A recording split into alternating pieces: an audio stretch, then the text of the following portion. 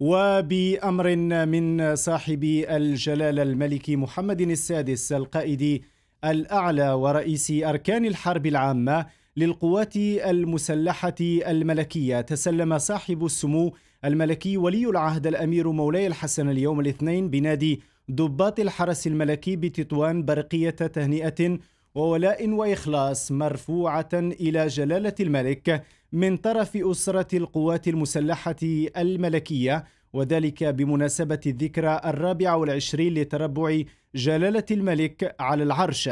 وأكد الضباط وضباط الصف وجنود القوات المسلحة الملكية في برقية الولاء المسلمة إلى صاحب السمو الملكي وولي العهد الأمير مولاي الحسن من طرف الفريق أول محمد بريض المفتش العام للقوات المسلحة الملكية قائد المنطقة الجنوبية على تشبتهم المتين بقائدهم الأعلى وبأهداب العرش العلوي المجيد. إثر ذلك استقبل صاحب السمو الملكي ولي العهد الأمير مولاي الحسن الضباط المتفوقين خريجي المدارس والمعاهد العليا العسكرية وشبه العسكرية. وبهذه المناسبة ترأس صاحب السمو الملكي ولي العهد الأمير مولاي الحسن مأدبة غذاء أقامها صاحب الجلالة القائد الأعلى ورئيس أركان الحرب العامة للقوات المسلحة الملكية على شرف الشخصيات المدعوة لحفل أداء القسم من طرف أفواج صاحب السمو الملكي الأميرة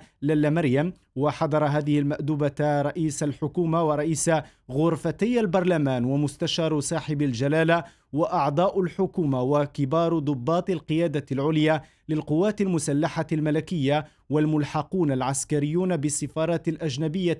المعتمدة بالعاصمة الرباط وشخصيات مدنية وعسكرية.